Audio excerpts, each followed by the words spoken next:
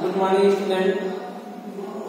स्वागत है आपका इस यूट्यूब के एजुकेशन फॉरेस्ट्री चैनल में।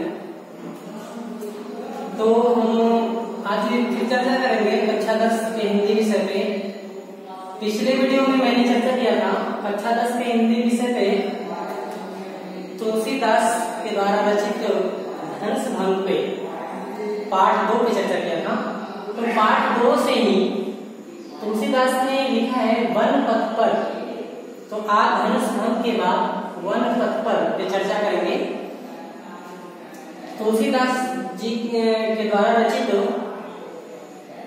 है द्वारा वन पथ की कुछ पंक्तियाँ इस प्रकार हैं कि प्रभु श्री राम जब अयोध्या से वन के लिए अपने नगर से निकले तो किस तरह से माँ सीता को थकान महसूस हो रही है और प्रभु श्री राम और सीता के बीच में जो अटूट प्रेम है, उस प्रेम भाव को अगली पंक्ति में दर्शाया गया है। तो देखेंगे। पुरते विकसीर गंभीर बधु धरे धीर दय मग में डल गए झलकी भरी भाल कनी जलकी कुट सूख गए मधुरा धरवे फिर बूझत है चरणों अब केत पर्ण कुटी करिहो कित है तेकी लगी आतुरता तेकी अखिया अतिचार चली जल पे। जल को गए लखन भय गरिका परिखो पीछा हरी है ठाड़े पोछ पसीम बयार करो अरुपाई पथारे भूगुर ठाड़े तुलसी रघुवीर प्रिया श्रम जाने की बैठ विलंब कंटक काढ़े।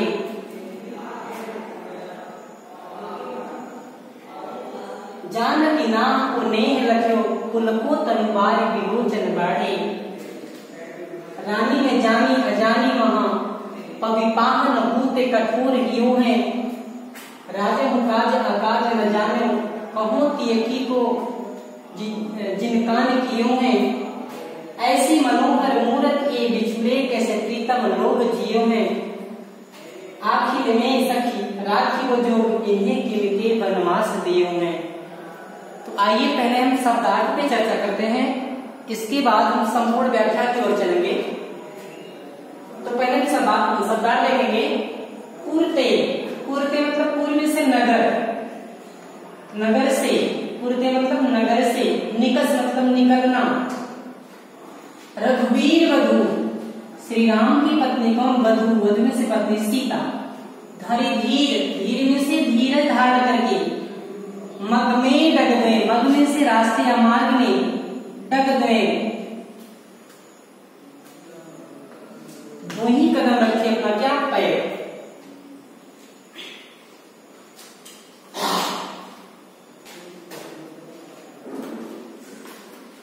झलकी भरी भाल कनी जलकी पुट सूख गए मधुराधर में झलकी भरी भाल में से माथा। माथा पे झलकने लगा क्या? कनी जल की कनी से कण, या बूंद से मतलब है। पानी की बूंदे। जल की। जल में से पानी है पसीना। पुट सूख गए मधुराधर में। पुट में से संपुट सूख गए मधुराधर। मधुराधर में से होठ। फिर बूझत है चलनो अब के प्रतिपर्ण कुटी करिहो के कथे फिर पूछत है, फिर पूछती फिर माँ सीता पूछती प्रभु श्री राम से, क्या चलनो अब के तके अब कितना दूर चलना है? कितने मतलब कितना?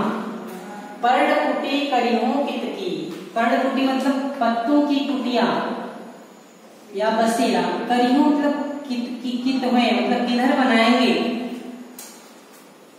कहा बनाएँगे? तेथी लखी आतुरता पेगी अखिया अतिचार चली जल में। तेथी लखी आतुरता पेगी तीर से मासिका पत्नी लखी आतुरता आतुरता को देखकर कौन? प्रभु श्री राम अखिया अतिचार चली जल गए अक्षर से आँख, नेत्र, अतिचार, अत्यधिक चंचल, सुंदर नेत्र जल से भर गए प्रवासों से भर गए। जल को गए लक्षण है लड़का जल को मतलब पानी को लेने के लिए कौन? लक्षण से लक्ष्मण लड़का में से लड़का। परिखो परिखो पी छाम हरी के ठाड़े।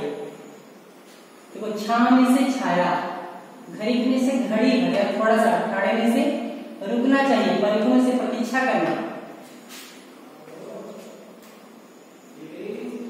पोछ पसीन बयार करो।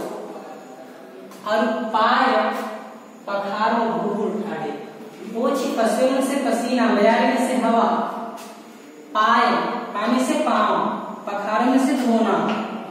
भूगुर ठाड़े भूगुर का मतलब गर्म गर्म रेत में ठाड़े से गर्म रेत में जो जले हुए हैं उनके पैर प्रभु श्री राम के, तुलसी रघुवीर प्रिया समझान तुलसीदास जी कहते रघुवीर श्री राम।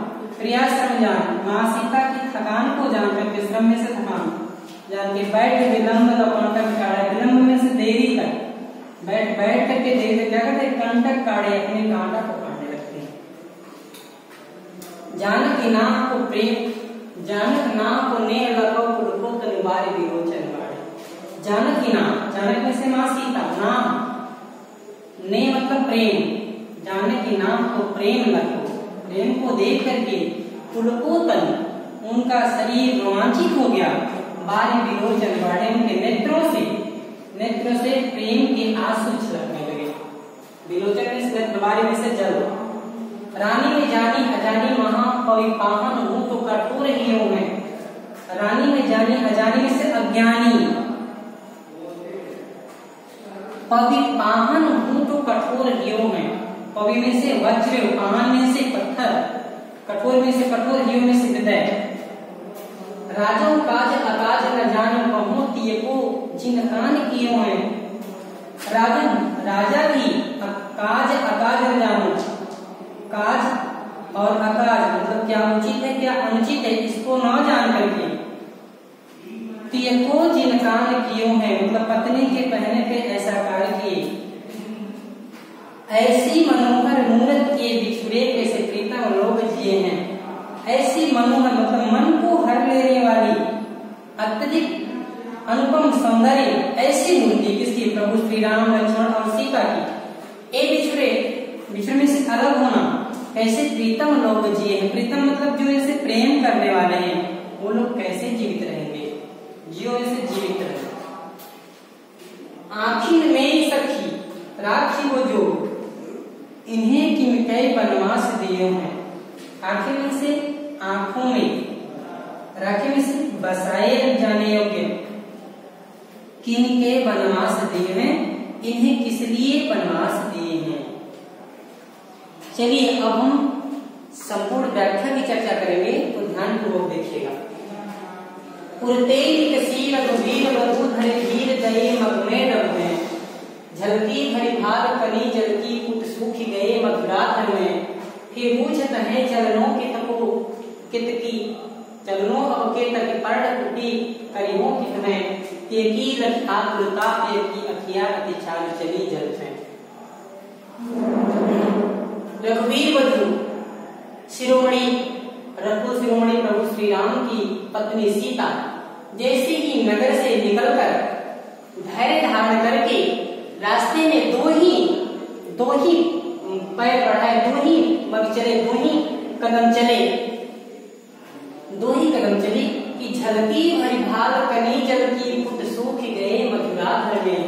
उनके माथे पे, उनके माथे पे पसीने से युक्त, उनके माथे से पसीने की बूंदे टपकने लगी, पसीने की बूंदे टपकने लगी पुट सूख गए मधुराधर में। और उनके सुंदर होठों के संपुट सूख गए। फिर बूझत है चरणों की तको केतकी पर्ण कुटी करीबों की तरह फिर मासी का प्रभु श्री राम से पूछती हैं कि, हे प्रभु, फिर बूझत है, पूछती हैं हे प्रभु, चरणों अब अभी कितना दूर चलना है? पर्ण कुटी करीबों कितने अब आप अपनी पत्तों की कुटिया कहाँ बनाएँगे? बसेरा कहाँ बनाएँगे? की अखिया चली जल सीता की ऐसी, सीता की ऐसी अपने प्रति प्रेम की आकुलता को देख करके अखिया अतिचार चली जल जय प्रभु श्री राम के आँखों में प्रेम के आँसू टपकने लगे। प्रेम के आँसू आ गए जगता गए लखन है परिको पीछा भरी के ठाड़े ओछि पसीव बयानी करो अरुपाय पथारी घूर ठाड़े तुलसी रघुवीर प्रिया समझान के बैठ विलंब लवंटक काढ़े। जान की नाम को नेक लखो कुल को तन बारी विरोचन बाढ़े। जलको गए लखन है लरिका माँ सीता प्रभु श्री राम से कहते कि, हे प्रभु जलको गए लखन है लरिका लड़का लक्ष्मण अभी लड़के लक्ष्मण अभी वे क्या करने के लिए? जल को लेने के लिए गए हैं। तब तक आइए कुछ घड़ी हम लोग किसी पेड़, किसी वृक्ष के छांव के नीचे उनका इंतज़ार करते हैं, प्रतीक्षा कर लेते हैं।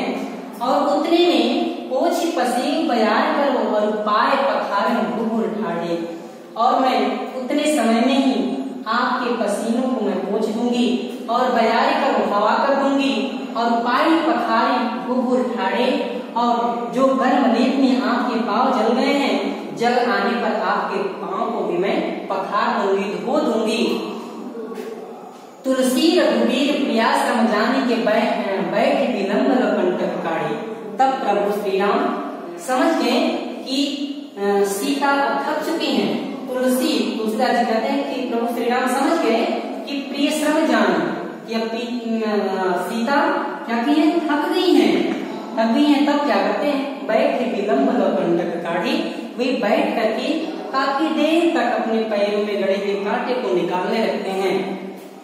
जान की नाम को नेह रखूँ फुलकू तनवार विरोचन बाड़े जान की नाम को नेह रखूँ, जानकी मतलब सीता के अपने प्रति से प्रेम को देखना राम, प्रभु राम प्रभु राम को सीता अपने प्रति प्रगाढ़ प्रेम को देख करके माँ सीता के माँ सीता का शरीर रोमांचित हो उठता है और प्रेम से रोमांचित हो उठता है और बार विलोचन खड़े और उनके नेत्र से प्रेम के आँसू छलकने लगते हैं।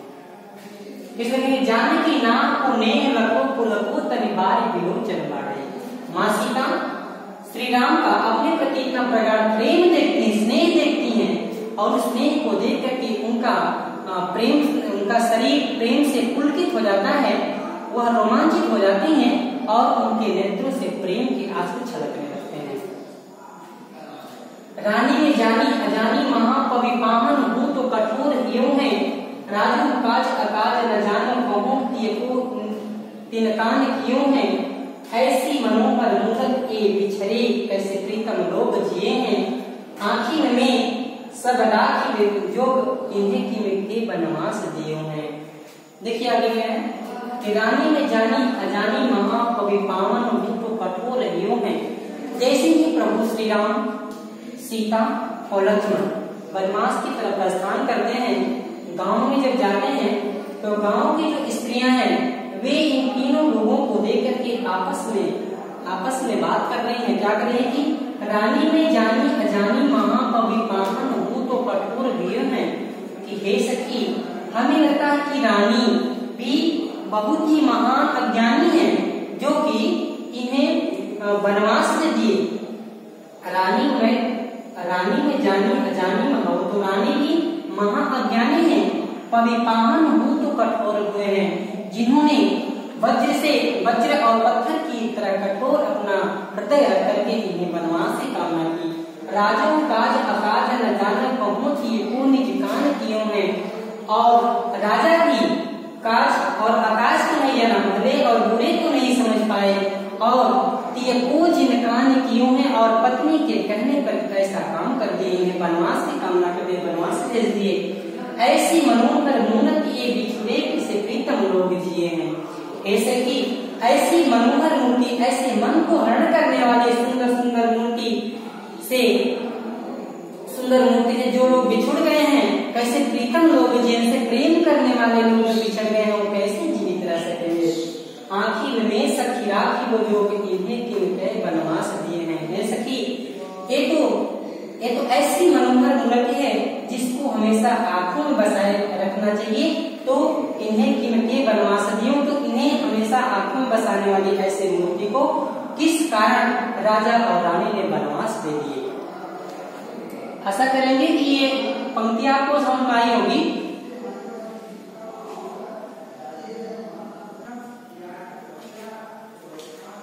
अगली पंक्ति है शीश जटा और बाहु विशाल विलोचन लाल तिरछी सी है तून सरासन बान हरे तुलसी बन मारक में सुख है सादर बारह बार सुधाय चिते त्यो हमरो मन मोह है उचित ग्राम वधु से सो कहा सावरे से कहा सावरे से सखी रावरे को है सुन सुंदर बैन सुधार सान सयानी है जानक जाने वाली तिरछी करी नयन दिशायन तिने समझाई कछु मुस्काई चली। तुलसी ते अवसर सोहे सवे अवलोकत लोचन लाभ कली अनुराग तड़ाग में भान कुदे दिगसी मन मंजुल कंज कली तो शब्दार्थ पहले चर्चा करेंगे। शीश जटा, शीश में सर जटा में मुकुट धारण कर रहे में से हृदय। बाम में से बाम भुजाएँ, विशाल में से बड़े। विलोचन में से नेत्र नेत्र कैसे हैं? लाल। तिरछी सी भौहें उनकी भौहें कैसी हैं? तिरछी हैं। तूल सरासन। तूल में से तरकस, जिसमें बाण रखते हैं। बाण धरी, सरासन धनुष और बाण। तुलसी वन मार्ग। तो वन के मार्ग में या वन के रास्ते में सुच सो है, सुंदर लग रहे हैं। सागर बारह बारह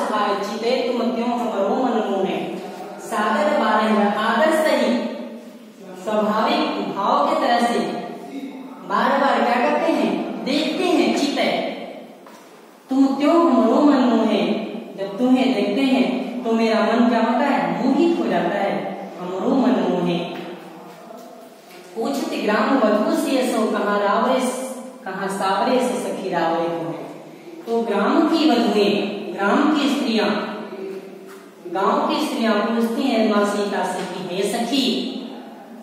सावरे से सावरी रंग वाली तुम्हारे कौन लगते हैं? रावरे को है? तुम्हारे कौन है? सुनी सुनी सुंदर बैन सुधारस साने सयानी है जाने की जानी करी सुधारस में से अमृत रस में सने के बैन में से वाणी को। साने सयानी सयानी में से? सयानी में जानक की जानी बनी जानिक में से मासी का। और जान में से भली प्रकार से जान जाती है। क्या?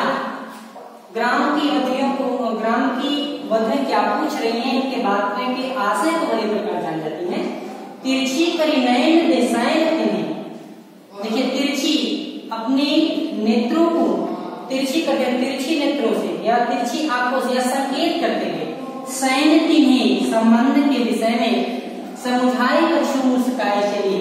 समझाते हुए मुस्कुरा करके चल रही चल पड़े। तुलसी ने अवसर सोए सदैव अवलोकत लोचन लाभ करी तुलसी ने अवसर में से समय, सदैव अवलोकत अवलोकत में से देखना, लोचन में से नेत्र लाभ में से लाभ अली में से सखी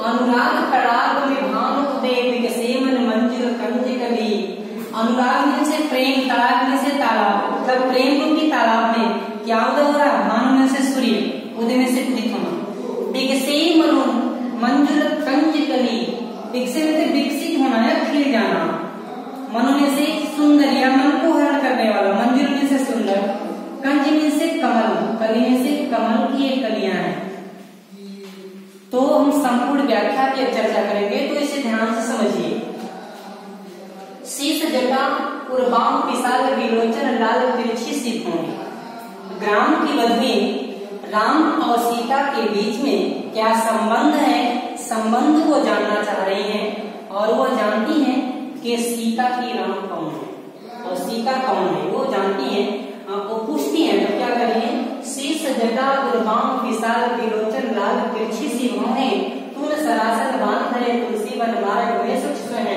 सादर बारी बार सुभाय चिते तुम क्यों? हमरो ग्राम वधु से सो कमला सावरे से सखी रावरे को। देखिए, सखिया कहती सीता से कि, हे सखी, सीता, शीश जटा, जिसके सर पे जटा है, जिसके सर पे मुकुट है उर्वाम और जिसका अवच्छ हृदय बाम विशाल, जिसकी विशाल भुजाएँ हैं, विलोचन लाल, जिसके लाल लाल नेत्र हैं, तिरछी सी भव है, और जिसकी भवें तिरछी हैं। तो उन सरासन बाण धरे वो अपने तरकस तरकस में बाण को रख करके धनुष को लेकर के, तुलसी वन मार्ग में सुझने जो वन के मार्ग में चलते भी बहुत अच्छे लग रहे हैं। सादर बारह बार सुधार चिते तुम क्यों हमरो मन मोहे और आदर के साथ स्वाभाविक भाव से जब तुम्हें वे देखते हैं तो तुम क्यों हमरो मन मोहे तो मेरा मन अत्यधिक उनके प्रति मोहित हो जाता है। पूछत ग्राम वधु से अशोक सावे से रावरे को है। तो गाँव की समस्त वधुएँ स्त्रियाँ पूछती हैं कि, हे सखी, सीता, कि कहा सावरे से सखी रावरे है? ये सांवरे रंग वाले तुम्हारे कौन लगते हैं? सुनी, सागर बैल सुधार, सारे सयान पीने जाने की जानी भली। तब गाँव गाँव की बच्चों की ऐसी वचन को सुनकर के माँ सीता उन्हें समझाती है। बताती हैं अपने और श्री राम के में संबंध सुनी सुंदर बैल सुधार साने सयाना पीने जाने की जानी भली तिरछी करी, नैन दिशायन तिन्हें समझाई कछु, मुस्काए चली। तुलसी पे अवसर सोहे सदै अवलोकति लोचन लाम हनी। अनुराग तड़ाग में भान उदय, दिगसी मनो मंजुर कंज कली। सुनी सुंदर बैन बैन से वाणी।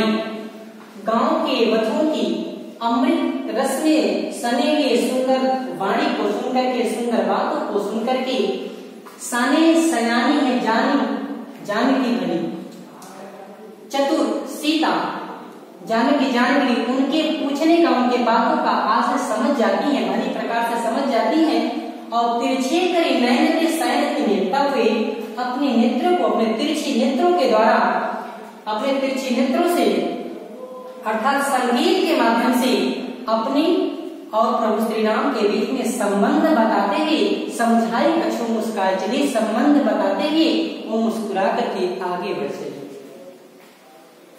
तुलसी ने अवसर सोहे सभे अवलोक लोचन आलाप अली तुलसीदास जी कहते हैं, उस समय जो गाँव की वधुएँ हैं, गाँव की वधुओं के नेत्र प्रभु श्री राम लक्ष्मण और सीता को देख करके अत्यधिक लाभ को प्राप्त कर रहे थे। अनुराग तराग में भान होते विकसी मनोमंजुर कंज करी और उसमें लाभ प्राप्त करते हुए वे ऐसे प्रतीत हो रहे थे जैसे अनुराग तड़ाग प्रेम रूपी तालाब में सूर्य के उदय होने पर क्या सूर्य का उदय हो